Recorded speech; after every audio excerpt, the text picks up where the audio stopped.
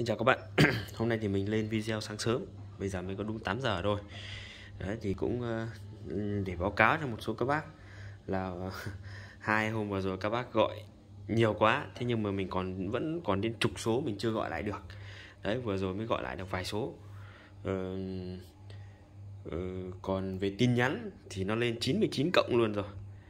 Đấy mình chưa nhắn lại được trong khoảng 2 ngày hôm nay. Hai ngày.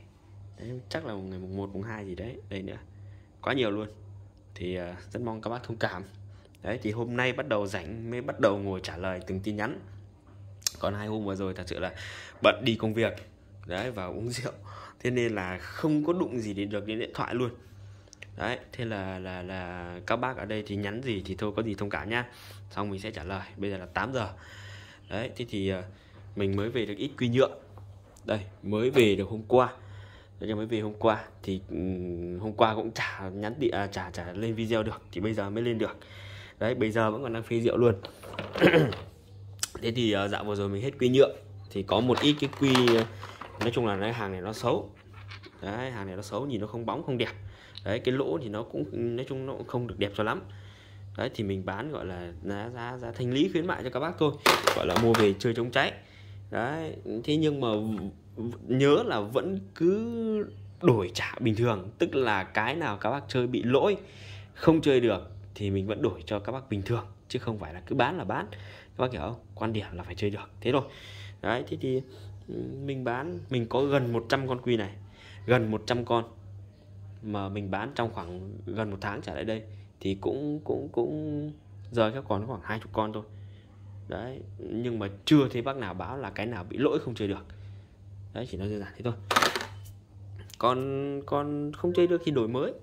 Thế thôi có gì đâu. Còn đây mình mới về được cái quy mới. Thì ờ, đây cho các bạn xem. Cái quy mới này thì nhìn nó sẽ bóng sẽ đẹp hơn. Đấy nó sẽ bóng sẽ đẹp hơn. Để cho các bạn cả bên trong lẫn bên ngoài. Đấy rồi rãnh riêng các loại đấy nó cũng sạch sẽ nó ok hơn.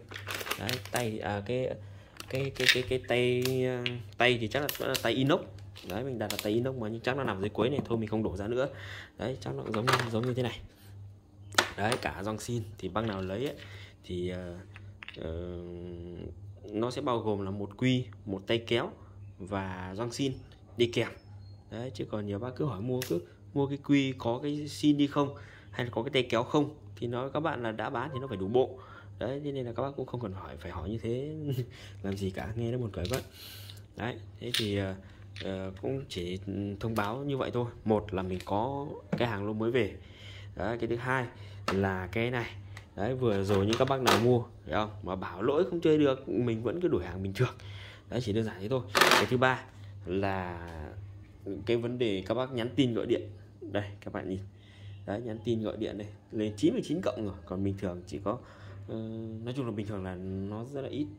Đấy thế nên là mình cũng chưa nhắn lại được cho ai cả. Bây giờ mình nhắn tin đấy chưa? Thì các bác nào, nhiều bác thì cũng cũng cũng cũng chờ tin nhắn đấy. Thì có gì các bác thông cảm nhá. Rồi, chào các bác.